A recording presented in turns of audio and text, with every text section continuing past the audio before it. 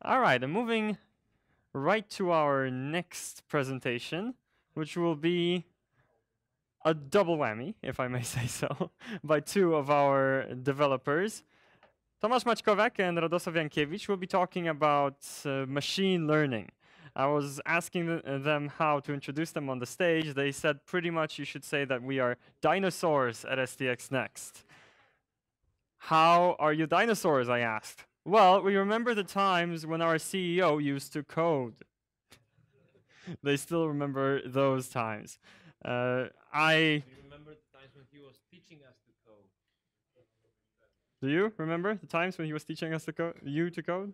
Okay, some people are not nodding, so I, I believe some people were around then as uh, well. Our two machine learning twins have also published on our blog a simple, uh, well, I shouldn't say simple, uh, actually a quite comprehensive tutorial on machine learning in Python.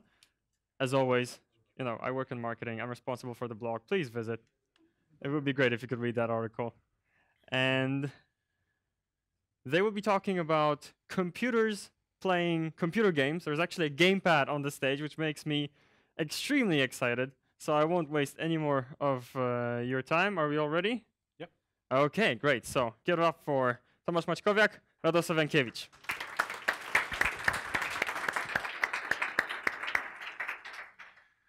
So good afternoon, good afternoon, everyone. My name is Radek Jankiewicz, And I'm Tomasz Maćkowiak. and as Kuba just said, our presentation will be about using machine learning for teaching a computer to play a computer game. Uh, let's start with with traditionally a short anecdote about the authors. So on this picture, you can you can uh, find both me and uh, Tomek during uh, STX Next hackathon event. Uh, and this picture was taken uh, almost 10 years ago. so More than 10 years ago. more, was- more was- than 10 years ago, right? Yeah. Um, so yeah, we are enjoying uh, programming in Python in STX Next for over a decade yet. Yeah, and uh, if you can, if you are smart, you will figure out who this guy is also. Yeah, that's that's Wojtek, right? Yeah.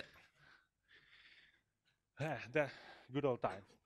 Uh, so uh, let's get back to our presentation, and let's start with defining what the machine learning term stands for. So simply speaking, uh, we can say that machine learning is, is a field of computer science that gives computers ability to learn without being explicitly programmed, which means that the machine learning algorithm can, can adjust and can improve the accuracy of uh, its results uh, based on the training data that is provided. Um, and um, this technology isn't, isn't an invention of, of recent years. The origins of, of machine learning uh, are dated in 50s of previous century, uh, which means it's almost seven, 70 years old. Uh, however, um, you can notice a significant rise of popularity uh, in recent years. Um, and uh, as you can see, Python uh, is statistically uh, the, um, the most popular language used for, for machine learning by, by scientists and by machine learning community. And uh, that may be because uh, there are um, a lot of major frameworks and libraries uh, like those mentioned here, uh, TensorFlow uh, by Google, uh, like scikit-learn, PyTorch, or Keras. Uh, there are also uh, some libraries for uh, processing big data, uh, big big data sets like pandas uh, or uh, tools for visualizi- visualizing the data like uh, matplotlib. Uh, so uh, Python has a a really vast ecosystem for machine learning. Vast and mature. Right. Um, and um speaking about uh, use cases of machine learning, uh, the list is very long and, and it's still growing, still increasing. Uh, and you can you can you can find you can find that machine learning has application in many fields uh, like uh, financials, financials, uh, health, healthcare, uh, and, and many other interesting stuff. Uh, but we found uh, even a, a bit more, mm, well, uh, a bit more interesting uh, uh, uh, area where where it is used, uh, and and uh, it's uh, autonomous vehicles, right? So we can uh, learn a, a, vehicle to drive itself. Uh, and this this idea, um, well, we we feel very excited. Ex we felt very excited about this idea, so uh, we try out to uh, come up with uh, our uh, implementation. Of course, a very uh, very simplified version of it. so we attempted to prepare a game which objective is to drive a vehicle in a tunnel uh, in the shortest time, which means uh, you have to avoid the obstacles on your way. Uh, the map is, of course, randomly generated, so so you, you, have to you have to really know how to fly to to accomplish the level. and we attempted to make it possible for for a for a human player to teach uh, an algorithm uh, to play this game. Uh, so we equipped the vehicle uh, with a number of sensors uh, that are measuring the distance between uh, between the vehicle and the obstacle or ground. Um, and well, the uh, rule of how it works is really simple and can be compared to uh, to a car parking uh, sensor system in your car. so we are collecting the flight parameters uh, and as you can see, we, we, we are collecting and storing the uh, data from the sensors as a, as, a, as a vector of integer numbers, which, which, uh, which says how far are we from, the, from the obstacle. A single sensor is like this one line of dots. So this this one line is one number in this array. This six here means that uh, the seventh sensor from the vehicle is the one that detected uh, the particular obstacle.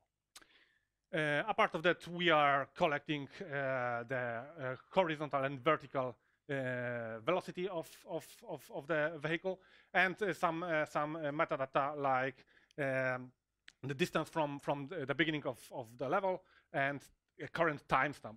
And apart of that, uh, we are also uh, collecting um, and storing uh, the information about uh, human player uh, controls being used in a given part of time. This is uh, for learning. We are, we, are, we are storing this data and then we are applying it for our algorithm to teach it uh, how to how to control the vehicle. Yes, and the controls they mean up, left, and right because the vehicle can you have an, uh, uh, you have a vertical acceleration. You can tell it to go up, and you also have acceleration on the left and right. And the vehicle it actually has not only speed but also acceleration. So if you keep the button pressed longer, you are uh, accelerating faster and faster. Uh, so we uh, tried to approach uh, this problem um, with with uh, supervised learning, uh, which works. speaking simply, it works this way that we are providing the inputs, which are the uh, data, which is the data of, of uh, flight parameters, and the labels, uh, which is uh, the data about uh, the data of uh, the user controls being being um, used in given moment. And we are providing this, this this data to the model. we are providing this data to the algorithm, which is training our model. And in the next step, we are able to use our model and predict what should be what keys should be uh, should be pressed in given situation when when for given uh, set of uh, flight parameters and uh, we we we did it uh, in this approach so so we, cho we, we, we chosen uh, the supervised learning approach. yeah so basically the vehicle the artificial intelligence is learning from the human driver so this is exactly the same process that Google used when they were developing their self-driving car. Uh, they were just driving the car through the deserts and other terrains uh, with real drivers and recording what the drivers were doing. And this is how they were developing their own self-driving car. Uh, the question that some of you might ask at this point already is why you wouldn't use reinforced learning, which is very commonly used for solving uh, for solving games. Now, those uh, quite famous algorithms that are playing the old Atari games, learning uh, by using reinforced learning. Uh, the thing is that uh, we had another use for this in mind. Uh, we were organizing an event for teaching uh, or introduction to machine learning, and this game was a tool to achieve that. And uh, also, reinforced learning is just harder to do. Uh, you can do it, but you need additional things. For example, you need the whole interpreter, and the reward function, and other stuff uh, added on top of the game. And we wanted something really simple that would integrate really well uh, and would be very easy to use for the developers that will try to solve the game using the artificial intelligence. So that's why we didn't use uh, uh, reinforced learning, even though that is uh, the commonly used uh, technique for such tasks. Uh, so, uh, as Radek was saying, we are, the game is sending this set of values to the backend that later on can use it for machine learning. And now I will try to describe to you how did we, uh, what was our solution for machine learning.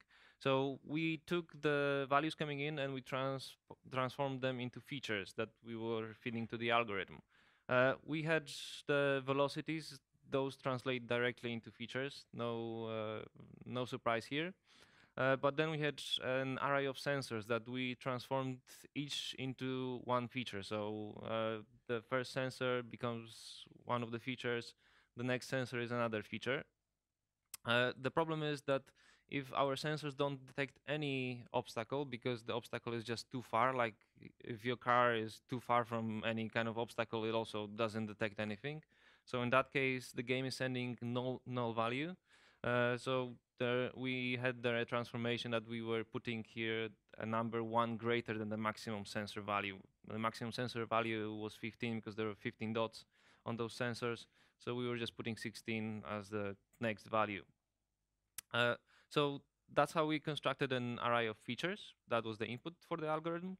And the controls that the player was uh, using, we transformed into an array of labels. So basically we just took them, transformed them into floating point values, and uh, those were the expected labels.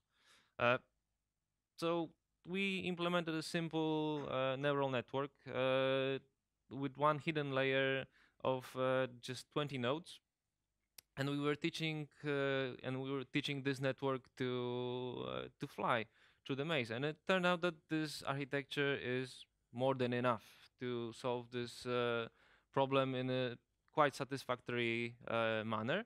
Uh, it worked. Uh, it worked pretty well, but the game has one hard point, and those are the blind alleys.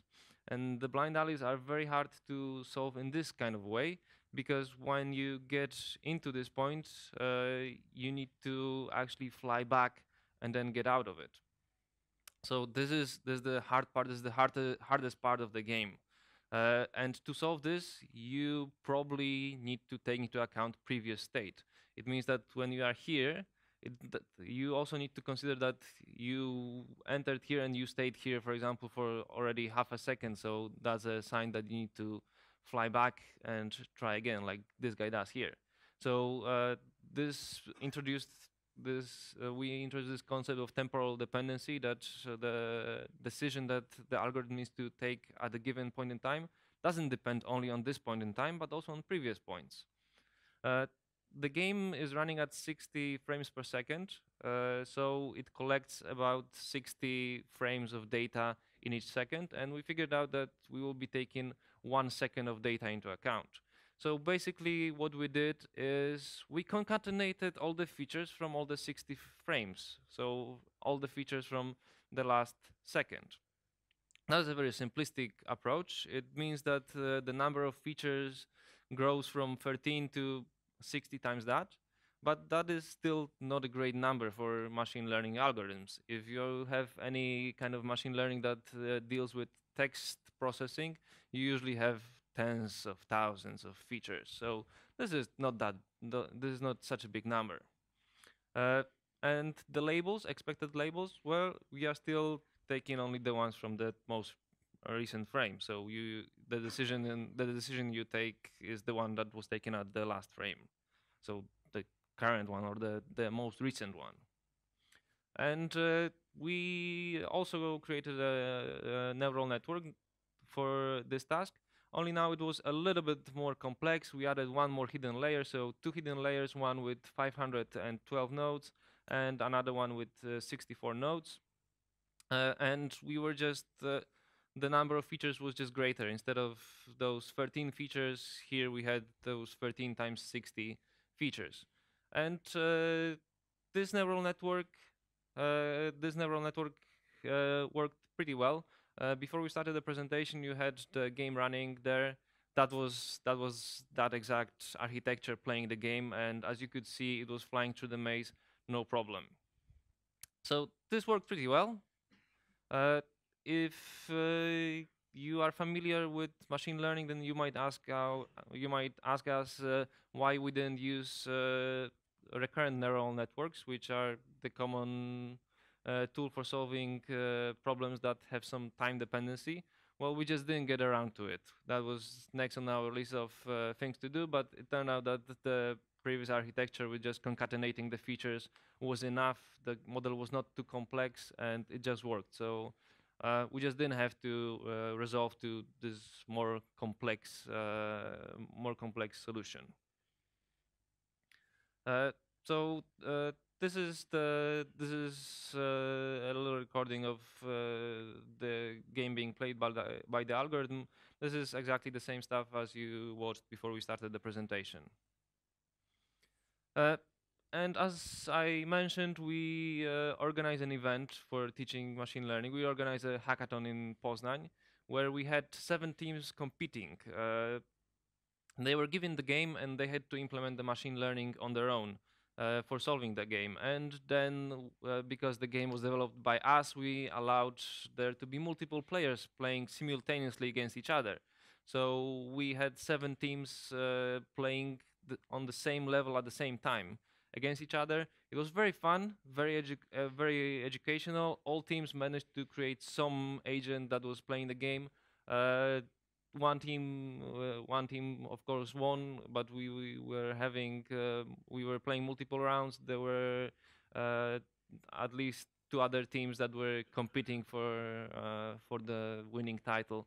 So it was pretty pretty fascinating to watch the little little guys fly through the maze.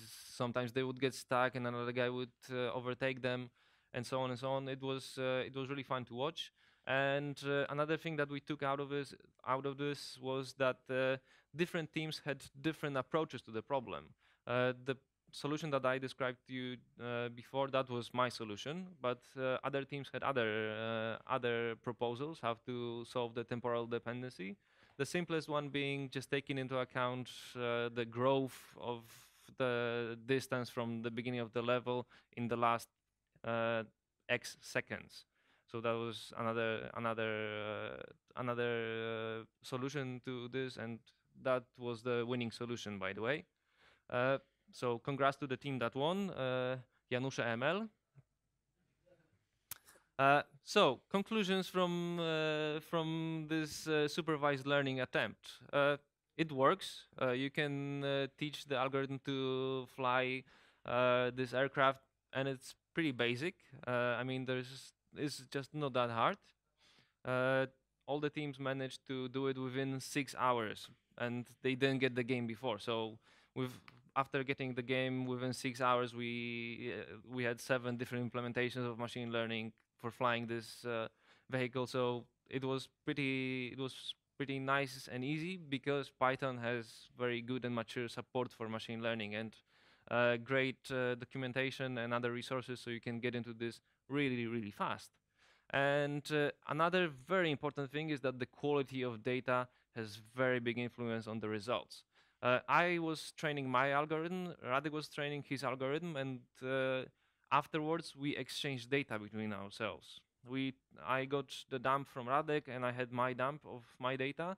And because Radek was many years driving an Audi, he's just a better driver. And it turned out that it counts. The, all those years of driving an Audi made him a better driver, and his algorithm was beating mine uh, each and every time because he, the quality of his data was just better. He was crashing less, he was driving faster. So uh, although my algorithm wasn't accurate as yours, it was like uh, with uh, with a lower uh, lower accuracy of of uh, predictions. Uh, my uh, with with my data, I was in in many times I, I, my, my vehicle was flying better than than Tomek's. Yeah, so uh, the quality of data uh, counts very much. We learned that by example, and this is true for all machine learning problems. If you put, if you have the actual principle is called garbage in, garbage out. If you put garbage into your algorithm, you get garbage on the outside. So if you don't have good data, there's no point in doing machine learning because you're not gonna do, you're not gonna learn anything. And uh, if you have a thing like we do where the previous state counts, you should take into account because it improves the it improves the learning very much. The simple algorithm that was not taking into account the previous state, you can teach it to get out of the blind alleys. Rad- Radek but it was a very meticulous process where he had to basically fly into the blind alleys and get out of them time after time just to teach the algorithm to do that. Uh, my algorithm, on the other hand, the more complex one that I was showing you, that was taking the 60 frames of reference into account, uh, it was easier to train it because I didn't have to repeat this process of getting into the blind alleys and getting out of them. It was just better at uh, at learning this particular stuff. But it's possible to to achieve a good result also without it. It's just harder. So that was pretty easy, right? There was a game, we solved it. Other people solved it, six hours. Uh, that that was pretty easy. So we figured out, let's try to get to scale it up a notch. So we asked ourselves, uh, what would happen if we tried to teach it to fly live? Uh, usually, when you are when you are doing machine learning, the first thing you do is you gather data, and after you gathered your data, you are teaching an algorithm, and then the algorithm is making predictions. But what if you didn't have the data? What if the algorithm is starting without any data and it teaches as you go? So we asked ourselves if this would be even possible. So uh, we wanted to try if, uh, if live learning is possible. Uh, is the is, could a neural network uh, learn fast enough for this to be even feasible? And uh, is it fast enough to run live? Aren't the computations just too heavy to be executing live as the player is playing? Uh, can it even be done live? Because uh, there are some problems with it uh, that you don't encounter in the classical in the classical machine learning. For example, when you are doing machine learning, you usually have all your data and you divide it in batches and you feed all and you feed those batches into your algorithm, right? But if you are learning live, then you do not have batches, you don't have data, you just have things coming into you live. So uh, we figured out that we can use queues instead of batches. So we have a queue that is accumulating data as the player is is flying and training the algorithm. And uh, once the queue fills up to be big enough, we extract a batch of data from it, and then we empty the front of the queue, and we are we will be appending the new frames uh, to the end of the queue. So instead of batches, we have queues uh, that are converted into batches as uh, soon as the queue fills up.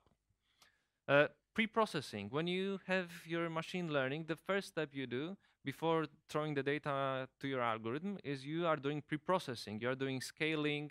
You are doing some transformations. Uh, but you cannot do that if you are doing live learning because you don't have any frame of reference. You don't know what is the maximum maximum value, for example, for the horizontal velocity. We don't know that when we are starting without any data, right? So we cannot scale the numbers to be between zero and one, for example. It's just not possible. Uh, so what we did is we applied batch normalization on the input. Batch normalization is a is a technique used in machine learning in between, uh, usually in between layers in your network, uh, to make to uh, have all of them scale to the same uh, range of values. It's uh, basically collecting data about the uh, population as it passes through the neural network, and it's adjusting the scaling as it goes. So we figured out we can put that uh, as a first layer just after the input, before it passes to the actual neural network, and this will do the pre-processing for us. Another thing is that when you are doing the normal machine learning, the classical way, you have your data and you are passing the data through the network few times uh, and one time is called an epoch. So usually you sometimes you pass the data 10 times through uh, all the data is passed uh, each example in your data is passed to the network 10 times. For example if you have 10, if you have 10 epochs sometimes it's 10,000 times if you have uh, if you have uh, 10,000 epochs. But we only have one epoch because we are teaching it to fly live uh, we also cannot do data shuffling. We cannot randomize the data because we have them coming in as we go. So there's not much room for randomizing the stuff here. So we are just not doing it. So we came up with this uh, with this term called learning by streaming, where uh, first the we are simultaneously teaching and predicting using the same algorithm. So Radek will be flying the vehicle and his data will be collected and sent to the server, which will append it to the queue. Uh, meantime, the uh, artificial intelligence will be also flying and it will be querying for predictions. It will ask us, I'm in this situation, what, what should I do? We'll add it to the queue and we'll start prediction. The, pre the neural network will predict straight away uh, some some controls and will tell the the little guy to go up or left or right. Uh, at first it won't have, it will not be taught, so we'll be just making random choices. Uh, but uh, then next time, uh, next frame, Radek's data will be sent to the backend, it will be appended to the queue, and the queue will fill up, and then we'll be able to do the first, uh, the first uh, round of fitting. Uh, so let's see if it works. Yeah, it's time for, for a, a live demo presentation. So keep your thumbs crossed because we are doing live demo. All right, so I'm controlling the yellow uh, vehicle. Uh, and uh, the the blue guy the blue guy is the artificial intelligence and uh, at this moment it's starting without any data so it's just uh, behaving randomly right now it just got stuck and Radek will try to get into the same position as it is. Uh, Radek is the yellow guy, and we'll try to get to teach it how to get out of this spot. And as you could see, he managed to make it get out, and it didn't take that long. We are only 30 seconds in. All right, I will restart the game just to, to, to show you how uh, the algorithm is improving its uh, quality, how the uh, vehicles steered by AI is going better and better with with uh, time. So Radek will now be playing. Now he will be playing like if he was playing normally, and every few seconds he will be restarting, uh, restarting the guy in the same position as he is, and you'll see if the guy is really improving. So now we are 20 seconds in, and you can already see that the little guy is somehow able to figure out that he should go right. And uh, the longer Radek flies, the more data is uh, streamed and taught to uh, the artificial intelligence. So the longer Radek flies, the better uh, the artificial intelligence should be. Uh, so he's uh, just playing the game, uh, trying to avoid the obstacles, and all of this data from his flight is being collected collected by the algorithm, and yeah, you can see that it's not doing it's not doing perfectly but it's, it's doing something there. And the longer he the longer he flies the better the results should be. Uh, yeah you can see that now the guy figured out that he should he should avoid the bottom. Yeah he's doing something there right? You can but see the improvement just one minute of, of learning right? Yeah now we are just like one minute in.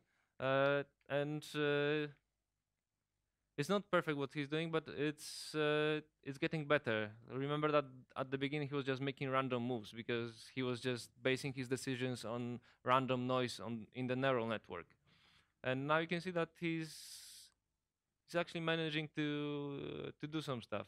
Uh, to get out of this spot in the blind alley, that would require Radek to also get into the same spot and just show it by example what it should do in this particular situation. So that's uh, that will require Radek to take special action. But just flying through the maze should be uh, should be actually should be able to teach it to do that without uh, without that uh, much effort.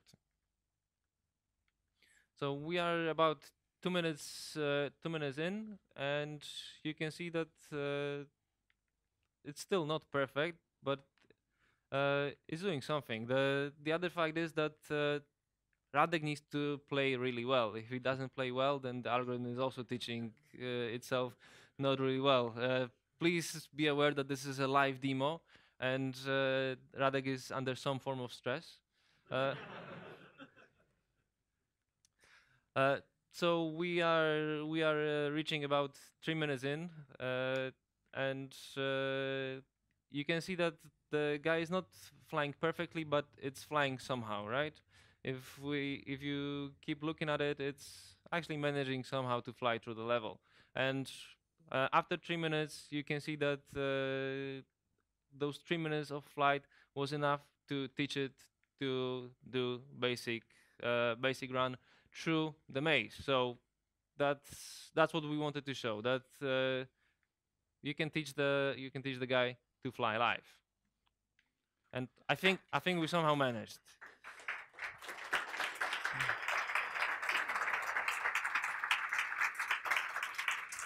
So let me just let me just uh, quickly go to through some conclusions to this. Uh, live learning works. Uh, you've seen that we were able to teach the algorithm to fly without having any previous data collected.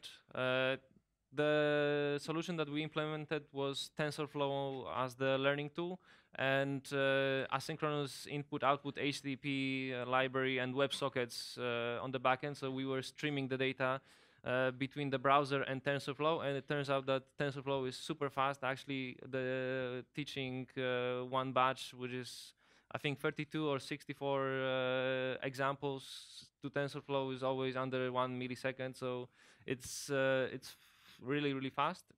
And computers can learn from humans, and they can do it really really fast.